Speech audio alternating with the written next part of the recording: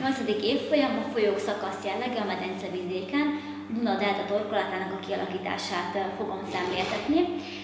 Létrehoztunk egy kis partvidéket, egy magas hegységgel, valamint egy, egy tengert.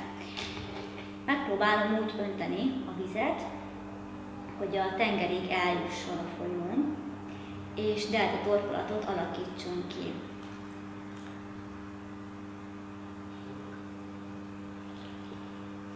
Folyamat során látszik, ahogy a víz magával sodorja a hordalékot és lerakja a tenger előtt, ezáltal delta torkolatot hoz létre, több ágra szakad, és nem egy helyen folyik bele a víz a tengerbe, hanem több kis folyókon keresztül.